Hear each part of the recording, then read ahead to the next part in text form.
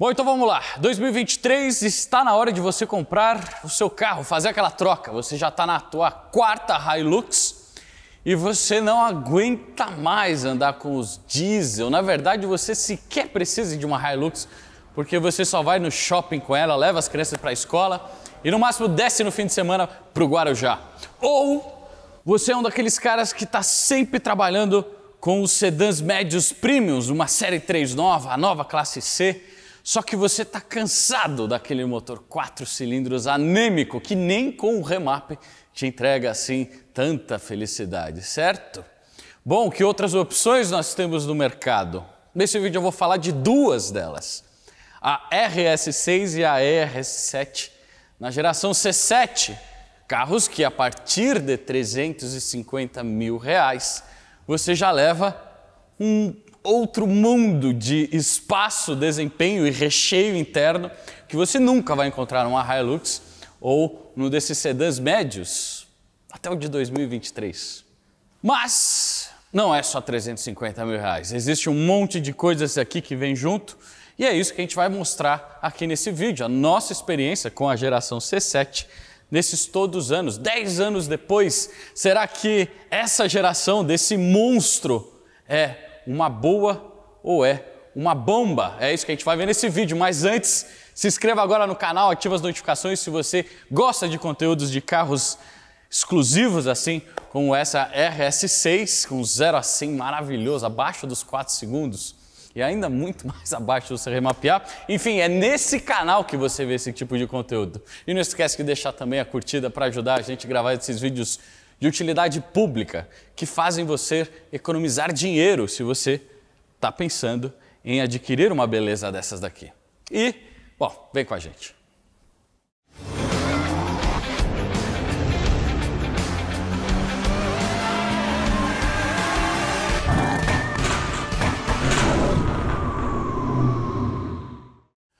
Bom, chegou a hora de você andar na faixa da esquerda quando você adquire uma RS6. Você está lá com a sua. A gente já teve esse cenário.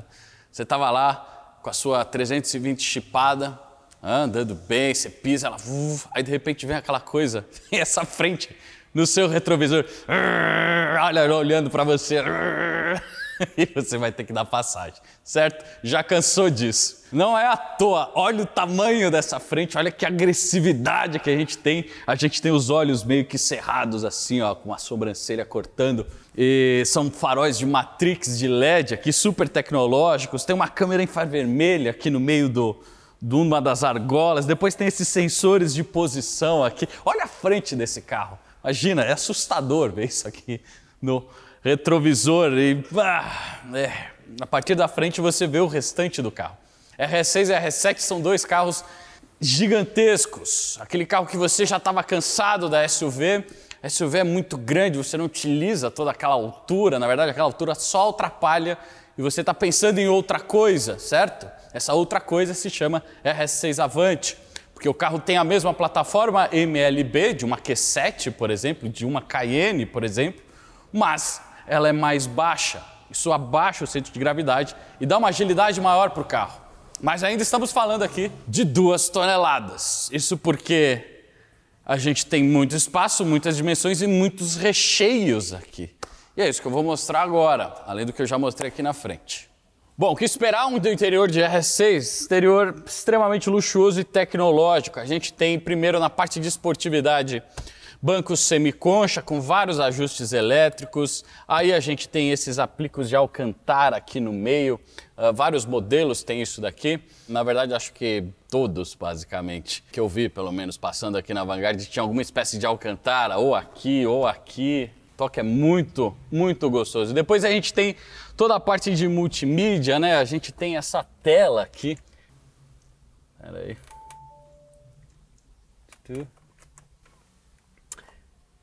Essa daqui retrátil, uma central multimídia já, se você está pegando das primeiras, dá para botar um CarPlay aqui para atualizar, para você ter um contato com o seu celular mais rápido, com um simples espelhamento e nas últimas versões a gente já tinha algumas opções com CarPlay aqui. Tem aquecimento de banco, ar-condicionado quadrizone, né? Esse é um carro pensado em quatro lugares, a gente tem esse teto panorâmico grande, enfim. A única coisa que eu diria é que esse interior da Audi, né, ele foi completamente reformulado na próxima geração e muitas telas na próxima geração, mais simplificado. Mas aqui a gente tem o oposto, a gente tem diversos botões mostrando todos os opcionais, um botão para cada uma das funções que a gente tem aqui dentro. Enfim, é um interior aglomerado em termos de painel aqui, mas um painel de instrumentos também muito bonito, com aquela tela no meio e esses dois uh, instrumentos, né, velocímetro e contagiros meio que em ângulo, inclinados assim. Né? E a gente ainda tem nessa opção aqui, nesse carro, um som Bang Olufsen, que é esse com esses painéis de porta em alumínio e até os tweeters que levantam. Som excepcional em termos de ambiente, aqui melhor que o home theater da sua sala, com certeza. E por último, esses carros também vêm com heads-up display, né? Aquele display que fica mostrando algumas informações aqui no para-brisa. Tem tudo, né? Mas não é só aqui na frente, é lá atrás também. Bom, comparando com uma Hilux, por exemplo, a gente perde um dos ocupantes, né? A RS6 tem esse, esse configuração 2 mais 2, até dá para sentar aqui, mas enfim, por lei não poderia porque não teria o cinto. Mas a gente também tem banco semi-concha aqui na traseira com Isofix, certo? Você provavelmente deve ter já mais de dois membros na sua família e você precisa de espaço. Esse é o segundo motivo de você querer uma RS6, é esse espaço aqui no meio do carro e ainda tem o espaço da traseira. Pera aí.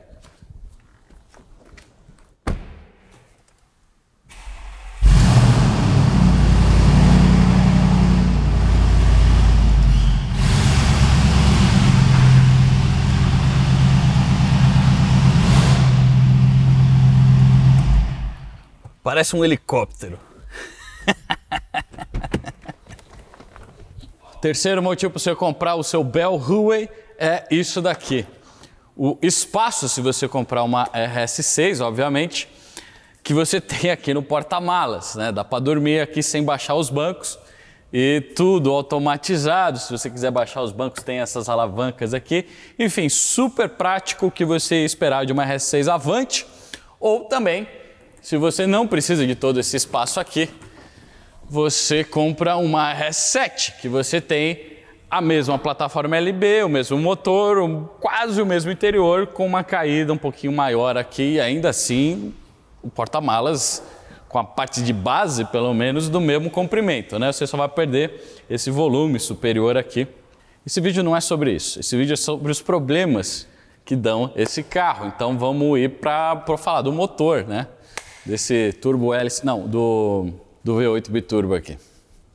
Enfim, dessa parte de interior, de tudo que eu mostrei, basicamente os únicos problemas que a gente tem aqui de registro é nas fechaduras traseiras, que nem dá no Jetta, por exemplo, que são preço de banana, não é um problema aqui de manutenção. E geralmente também eram carros blindados, tá? Se você comprar um não blindado, a chance de ter esse problema é basicamente nula. Mas, enfim, os problemas maiores desse carro estão aqui no motor e na suspensão. Vamos começar pelo motor. Bom, vamos lá. Empurrando as duas toneladas abaixo de 4 segundos no 0 a 100, a gente tem essa beleza aqui, que se chama EA824, basicamente um V8 de 4 litros biturbo com water cooler e um sistema de desativação de cilindro. E esse daqui, esse V8, ou sejam, quatro cilindros unidos pelo mesmo virabrequim, é basicamente uma versão que lembra muito o EA888 de terceira geração, certo? Muitos dos componentes aqui, as bombas, o sistema de gestão, o sistema de ignição, os injetores por ângulo, enfim, são todos um irmão aqui um pouco mais robusto, claro, do EA888 do GTI. Mas a bomba d'água aqui não vaza, certo? Muito difícil, na verdade eu não lembro de nenhum carro, puxei no histórico aqui, que tenha problemas de bomba d'água. Isso porque ela é completamente diferente da do GTI. Tá? Mas outros problemas que a gente pode ter lá no GTI, como por exemplo o sistema de ignição e também na parte de conexões plásticas que a gente tem aqui do sistema de arrefecimento, do sistema de circulação de ar, do sistema de blow-offs, enfim, esses sistemas são os que dão mais problemas aqui, mas são coisas pontuais que você vem e troca um sensor, enfim, troca uma bobina, coisa simples. Mas, se você dá uma olhada nesse motor, esse é um dos motores mais complexos em termos de aglomeração de componentes. Tá tudo uma coisa em cima da outra. Então, para eu acessar, por exemplo, a bobina, eu vou ter que desmontar aqui o sistema dos chicotes de alta, eu vou ter que desmontar toda essa parte aqui de, de cima do motor. E é nesses tipos de problema, para a gente acessar esses componentes que aqui, por estarem mais aglomerados, e a gente tem diversos sistemas aqui, por exemplo, o sistema de desativação de cilindro com AVS, ou seja, dos sistemas do serviço de acesso que acabam colocando novos defeitos, né? Essa é a maioria das naturezas que a gente vem pegando aqui de serviços. Fora isso, fora o defeito colocado de manutenções anteriores e alguns vazamentos que a gente pode ter numa junta de tampa de válvulas, numa tampa de corrente, na junta do cárter e de alguns componentes de plástico que podem ressecar com o tempo e apresentar um vazamentinho, de maneira geral, esse aqui é um motor super capaz, robusto, que a gente recomenda também essa questão de, de remaps. Enfim, eu expliquei tudo isso já num outro vídeo de RS6 que eu vou deixar o link para vocês aqui. Dá uma acessada lá, eu explico toda a parte de desativação de cilindros, ganhos de potência, existem dois tipos de remaps que a gente pode fazer aqui e eu explico toda a capacidade lá da plataforma. Tá? Recomendo reprogramação para qualquer carro. A gente tem versões de 600 e 625 cavalos aqui e a gente ultrapassa os 700. Tudo nesse vídeo. Por fim, o que, que resta desse motor? Basicamente, você, uh, se você está comprando um carro desse com esse motor, dá uma bela volta no carro, certo? Faz as turbinas pressurizar, vê se não tem nenhuma falha, nenhuma hesitação e também dá uma olhada se não tem luz de injeção acesa. Resolvido isso, o que a gente faz no final é só uma atenção na parte de fluidos, tanto na parte do arrefecimento e também na parte de lubrificante de motor. E sendo esse um motor biturbo, a parte de lubrificação, ela é o coração da manutenção. A primeira coisa que você deve ver uh, em termos de vida útil desse motor. Se a gente imaginar, são 10 anos aqui que podem ter sido estragados caso o lubrificante não foi respeitado. E aqui a gente não tem a norma 502 normal. A norma desse motor é uma outra. Vamos falar então um pouquinho de lubrificante rapidinho dessa nova geração de motores aqui. Bom, vamos falar de lubrificação. A 824 tem uma das normas mais exigentes, mais restritivas em termos de desempenho do lubrificante. Eu já falei isso antes aqui no canal e vou repetir. O mais comum é o pessoal trabalhar com a norma VW502, que é a norma lá do GTI, certo? Do Golf GTI, na viscosidade geralmente 5W40. Esse motor, ele possui uma outra norma que chama VW504, que é uma norma que tem uma restrição muito maior, um mínimo de desempenho muito maior uh, em termos do desempenho do lubrificante lá dentro do motor. E duas coisas chamam a atenção: a gente tem nível 10 em termos de redução de desgaste, a 502 é só nível 3, e a gente tem também nível 10 em redução de borra, a 502 é só nível 7. Então a gente tem na 504 um lubrificante que passa trabalho, certo? Para ele chegar lá. E a gente já vem utilizando há muito tempo aqui todas as uh, manutenções da Vanguard, partindo da norma 504, o 800X Clean, na viscosidade 5W30, para os carros normais, para os carros não preparados, certo?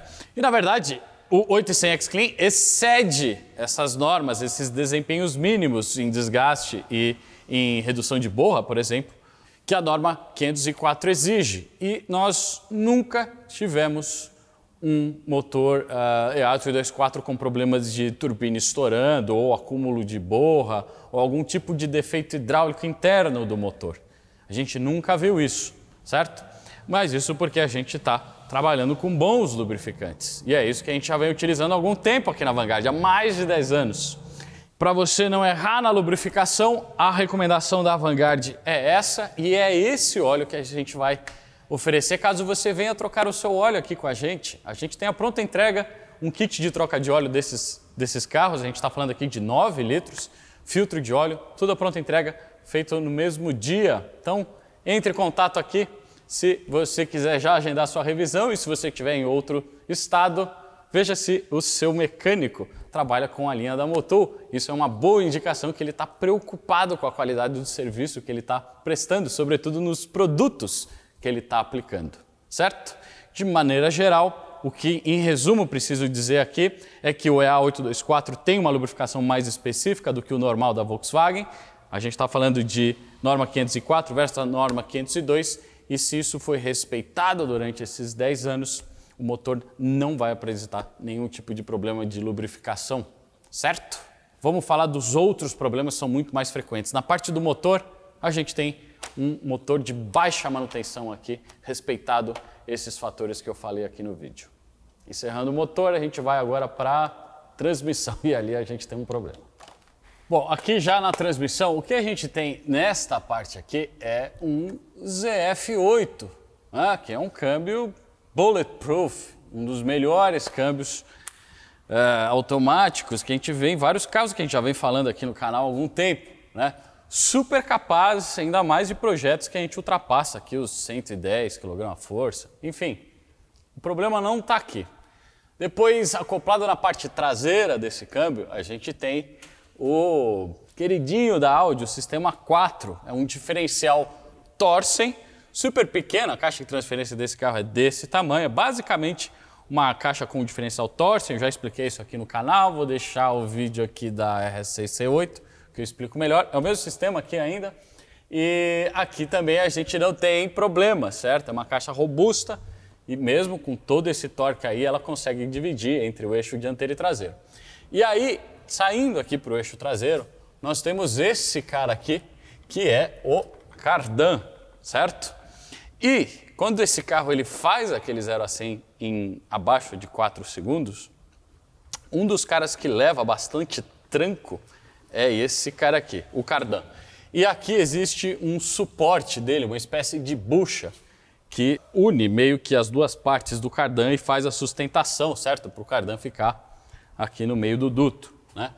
E para pessoal que abusa de launch control, Seja carro remapeado ou não, com o tempo o que a gente vê é uma degradação do suporte aqui do cardan, da bucha central.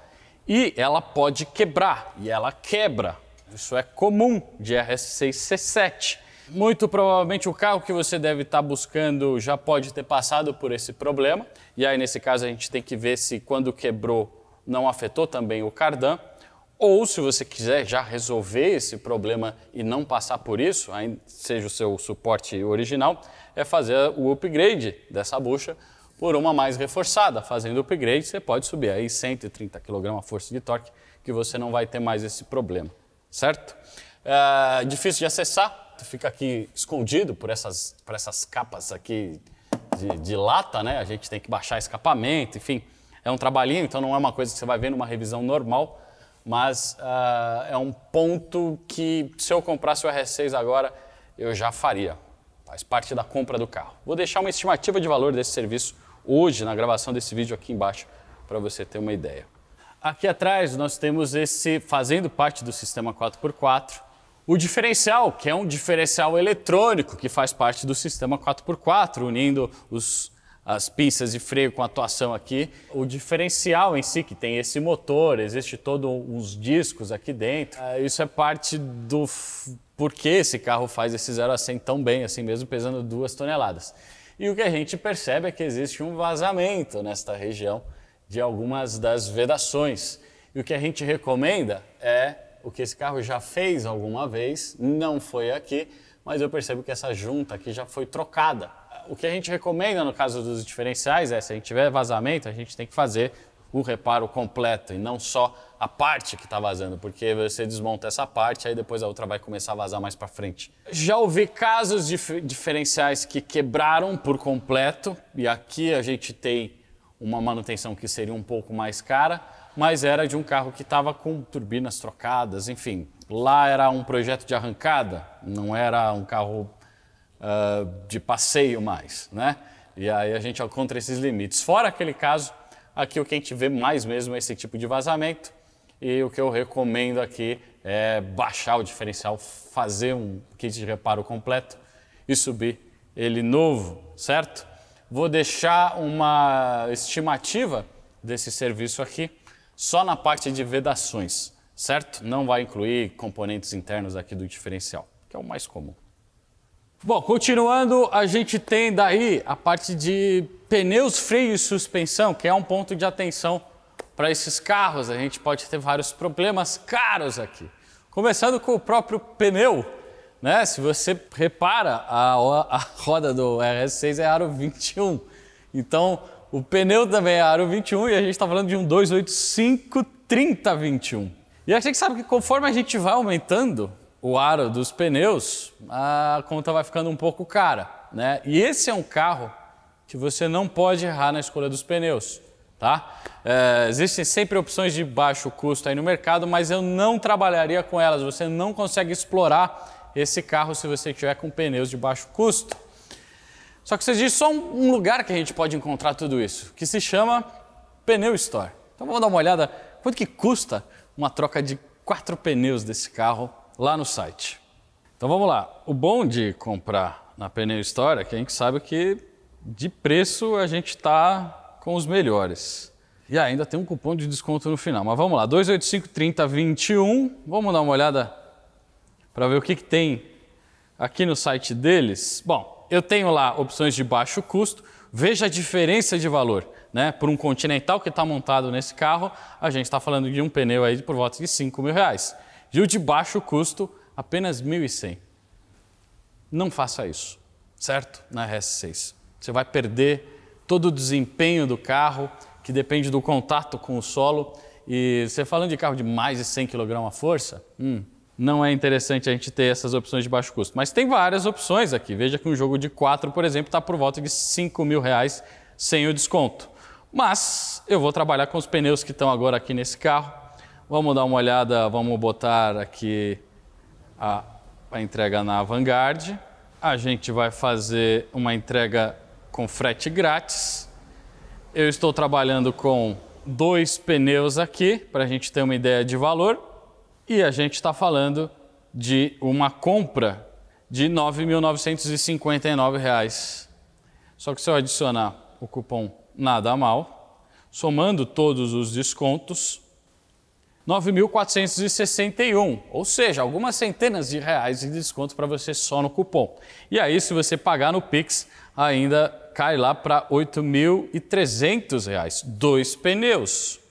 Vezes 4 são 16 mil reais aproximadamente, certo? Pneu é um negócio caro nesse carro, mas é essencial, certo? Então entra lá, se você está precisando, não compre de baixo custo. Não faça isso. Bom, resolvido os pneus e a gente tem uma ideia do valor de uma manutenção aí, a gente tem a parte de freios. E este exemplar aqui está com um dos opcionais desse carro, que é o opcional de cerâmica. Os quatro discos e pastilhas desse carro é com esse sistema de carbon cerâmica aqui, com os discos que não são de aço. São duas opções que a gente tem. A opção de aço tem aqueles recortes, né? A Audi estava fazendo isso na época, de vários RS então o disco tem uma espécie de chanfro aqui na parte exterior que freia muito bem lá na questão do, do, do disco convencional. Tem o seu custo de manutenção mais caro. Como assim? O de cerâmica é mais barato? É. Bom, se a gente pegar uma troca de disco e pastilha, que geralmente são duas pastilhas para uma troca de disco, certo?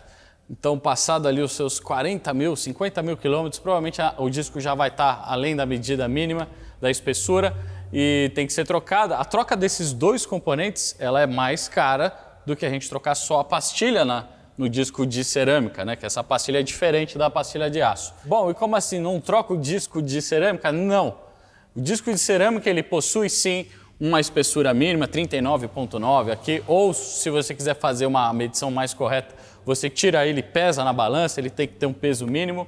Mas o que a gente vê é que esse sistema de cerâmica aqui, ele é para mais de centenas de quilômetros para carros que são utilizados normalmente. Em rodovias, mesmo andando em alta velocidade, são discos que aguentam muito em termos de quilometragem, certo? Então a chance de você ter que trocar um disco desse, eu só consideraria ali depois dos 90 mil, no caso estão com uso normal. Claro que se você está usando o carro em track day, está querendo bater tempo, não sei por que você ia fazer isso, porque aqui é duas toneladas, enfim, você pode ter uma vida útil menor desse freio, né?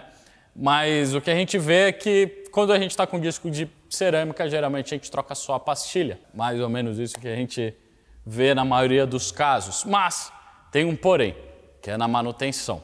Isso pode fazer com que você troque o freio antes da hora. Bom, um dos problemas que a gente tem geralmente em relação à manutenção desses carros está justamente nessa hora de você sacar essa roda Aro 21, que é pesada, né? Se você tirar ela e ela acabar pegando no disco, você pode provocar uma trinca nesse disco, um pequeno descolamento da parte de carbono. E diz o manual que, caso a gente tiver esse tipo de trinca, o disco tem que ser substituído. Para a gente evitar isso, geralmente a gente trabalha com esse tipo de ferramenta aqui, que é apenas um guia que permite eu tirar a roda sem ela, porventura, escapar aqui do cubo e acabar batendo no disco. Isso é um, algo que a gente está vendo em alguns carros de manutenção aí de, de longo prazo, né? Começam a surgir essas trincas aí. Então, se você está comprando esse carro, é interessante dar uma olhada, se você está optando pelo sistema de cerâmica, e eu optaria pelo sistema de cerâmica, não quer dizer que o carro vai frear mais rápido, tá? Por ter a cerâmica aqui, vai, vai, vai, vai frear num, num intervalo menor de, de, de espaço, né? Uh, é só que aguenta muito abuso, né? muito abuso. E esse é um carro que vai pegar altas velocidades. E o freio é basicamente uma transferência da energia cinética, que é peso mais velocidade, né? em calor, ou seja, peso a gente tem bastante velocidade também. Então vai ter bastante calor aqui. O calor no sistema de cerâmica, ele costuma ter um threshold maior. Enfim, aguenta mais. Frenagens consecutivas, certo? Só que requer esse tipo de atenção na parte de manutenção. Bom, eu removi aqui primeiro para falar desse disco. É um disquinho pequeno, né? Mas, enfim, freia bastante, uma pista de seis pistões. Aqui a gente tem a pastilha, se você quiser medir a pastilha, a gente utiliza um... Vou, vou, vou mostrar isso, peraí. Então a gente tem esses calibres aqui que a gente utiliza para fazer a medição do material da pastilha. Aqui no caso do disco de cerâmica, geralmente é só ela que você troca. Eu vou dar uma olhada aqui. O certo é a gente medir de lá e para cá, mas eu não vou conseguir pegar o outro lado na câmera. Vou medir só desse lado aqui. Eu acredito que essa pastilha esteja com os seus 7 milímetros, de 6 a 7. Isso, exatamente. Na verdade, os 7 milímetros que eu estava esperando assim é o que eu bati o olho, certo? Isso indica que a pastilha está na sua meia-vida aqui, né? E a gente ainda tem 5 milímetros, 4 milímetros e 3 milímetros. Chegou no 3 milímetros, tem que trocar. Uma pastilha nova aí desses carros vai, vai ter por volta ali dos seus 9 milímetros, mais ou menos. A gente está no meio do caminho, certo? Eu optaria pelo de cerâmica, se fosse eu que comprasse. A diferença de preço desses carros é pequena no mercado. E por fim, a gente precisa falar da suspensão.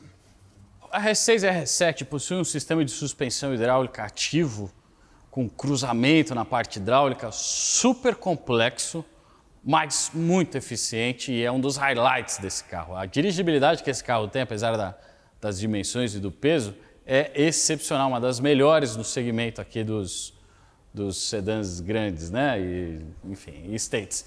Uh, isso devido a esse sistema hidráulico de suspensão com amortecedor que eu expliquei, mas também devido ao sistema de duplo A que a gente tem aqui na dianteira e um sistema multilink de cinco braços, se não me engano, lá na traseira. Esses carros ainda não tinham o esterçamento que a gente vê na próxima geração. Mas ainda assim é super complexo e aqui o sistema dianteiro de duplo A a gente vai ter um, dois, três, quatro braços de suspensão.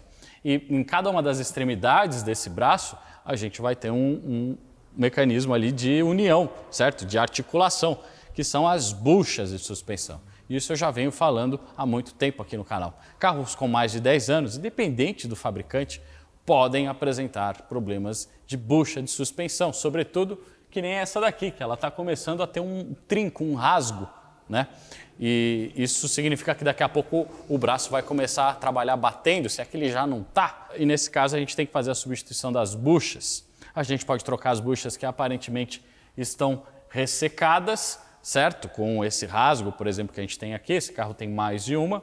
Ou a gente pode pensar num kit de reparo completo, tendo em vista já a idade. A gente pode corrigir só essas duas semanas que vem aquela começar a trincar, porque essas aqui começam a ficar mais firmes, né? Coisa comum de suspensão.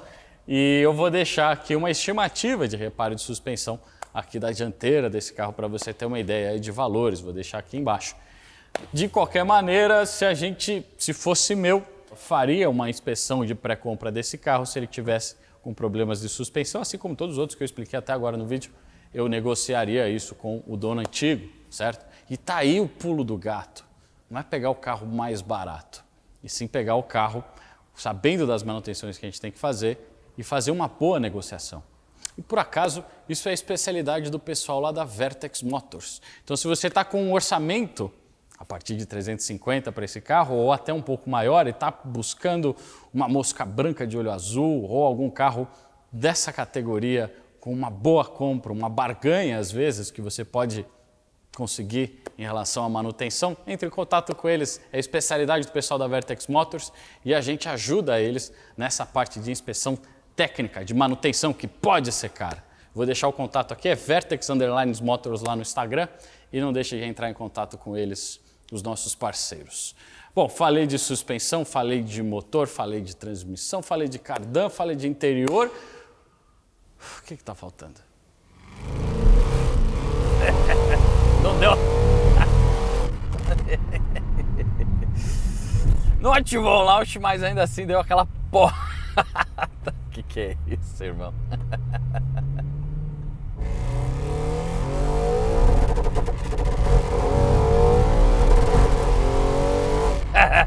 Sério. A sua Hilux não faz isso. É, cara, tem algo muito de especial nesses nessas barcas 4x4 com mais de 90 kg força e um V8 hum, acoplado. Essa é a parte mais divertida, na verdade. E é isso que eu estou testando agora, porque na verdade eu estou dentro de uma outra RS6.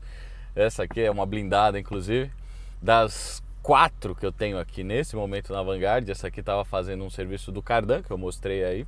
E a gente precisa testar, né? para ver se não tem nenhum barulho, para ver se ele aguenta outros launches consecutivos.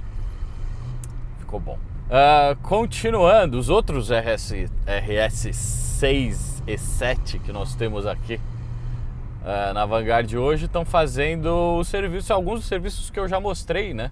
Um deles está com problema de luz de injeção acendendo e o motor falhando, que tem relação com, a, com aquela parte dos reparos que eu tinha comentado e o outro está ah, uh, fazendo um serviço de pré-compra e também tem um outro fazendo um problema que não é crônico, que eu não mostrei no vídeo, que é mais específico daquele carro, porque aquele carro passou por uma poça d'água bem funda e aí acabou causando um problema na caixa de direção. Bom, talvez esse seja o único problema que nós temos em relação ao RS6. Ele não é um SUV. Então, se você quiser fazer um rally com o carro ou fazer algum tipo de off-road, não é o carro mais recomendado, certo?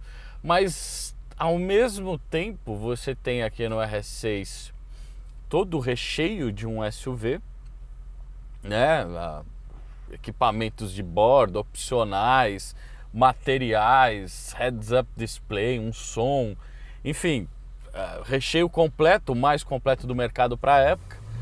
Só que ele é mais baixo, né? E SUVs são às vezes meio desengonçados. Não é o caso aqui. A R6 só é pesada, mas ela tem uma parte de estabilidade muito boa, principalmente por causa dessa suspensão hidráulica ativa que eu mostrei aí, que é um dos highlights inclusive da linha RS aqui, tá? Suspensão muito equilibrada, mesmo para um carro blindado, é impressionante assim o que você tem em termos de Conforto e estabilidade e um pouquinho mais de esportividade, considerando as dimensões, lógico, nesse carro. Tá? Então a parte de suspensão do RS é um dos highlights. Se comparado com as outras concorrentes, o que, que a gente seria de concorrência aqui? Talvez uma E63 State raríssima, mas lá a gente tem uma suspensão pneumática na traseira, né? Não tem a pegada que esse carro tem e a estabilidade Cara, olha, olha que puxa, mano. E esse aqui tá com o freio de carbono. Então, você freia. Quantas vezes você precisar. Não tem problema. Cara, que máquina, mano. Essa daqui. É, e aí você volta. Eu tava no raciocínio da E63, né? A E63 tem o M176 com aquele 5.5, um V8 biturbo também, uma litragem maior, entrega mais torque, mas é um outro tipo de carro. A R6 é um carro mais esperto, eu diria. A E é um carro mais classudo, eu diria. Sem cantar pra ele.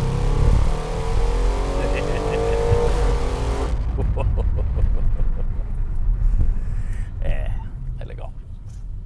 E aqui acho que também deu para mostrar essa parte da agilidade, porque eu tô numa blindada e eu consigo fazer uma transferência de faixa, consigo pegar essas ondulações agora e o carro tá passando sem atrapalhar a dinâmica, sem dar aquela cambalhota nele mesmo, né? Que é típico mais de carro com suspensão pneumática, né?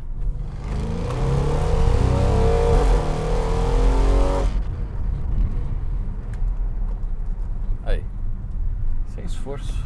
De maneira geral, respondendo a pergunta do vídeo, 10 anos depois, a R6 e a R7 são uma bomba ou uma boa?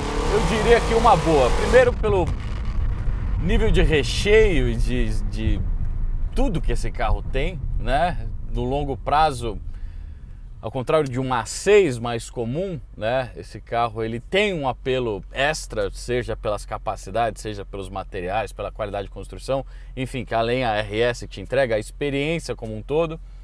É, eu te falo que a partir daqui acho que seria o que um Bentley, um Rolls Royce, não tem mais do que isso aqui do que você oferece. E é um belo carro para você se divertir aí durante longas épocas, longas décadas talvez, né? Eu posso falar isso, a minha M5 já tem mais indo para 20 anos já que está comigo. E é um carro que eu me divirto até hoje. É um carro que tem os seus defeitos crônicos, mas a maioria deles eu consegui explanar aqui nesse nesse vídeo. Não é exatamente um Panzer do asfalto, que nem as Mercedes da década de 80 e 90, mas também não é uma bomba, certo? Os defeitos, se você fizer uma reserva aí de uns 15% do valor desse carro, uma reserva de emergência, para você sanar um desses problemas, caso eles surgirem no longo prazo, você está bem calçado aí. O importante, na verdade, é você fazer uma seleção de um carro em bons estados, que eventualmente já tenha passado por algumas dessas manutenções que eu mostrei no vídeo. E esse, essa achado essa prospecção desse carro no mercado, achar essa mosca branca de olho azul, é a especialidade do pessoal da Vertex Motors. Então a Vertex faz todo esse trabalho de fazer uma prospecção no mercado, separar o joio do trigo e apresentar para você quais são as melhores opções de compra que a gente tem naquele momento do mercado, carros on market, off market também a configuração que você está buscando, às vezes uma cor específica, algum opcional, os freios de carbono, como por exemplo. Se eles fazem todo esse trabalho de peneiramento, né? E uma das etapas desse processo é essa parte de manutenção que a gente faz aqui na Vanguard para eles, esse filtro da, do estado físico da manutenção do carro, entre outras componentes aí eletrônicos e elétricos que causam muito receio muitas vezes no pessoal aí. E é isso, senhores. Então entre em contato lá com eles, do pessoal da Vertex Motors. Vou deixar aqui o Instagram, Vertex Underline Motors.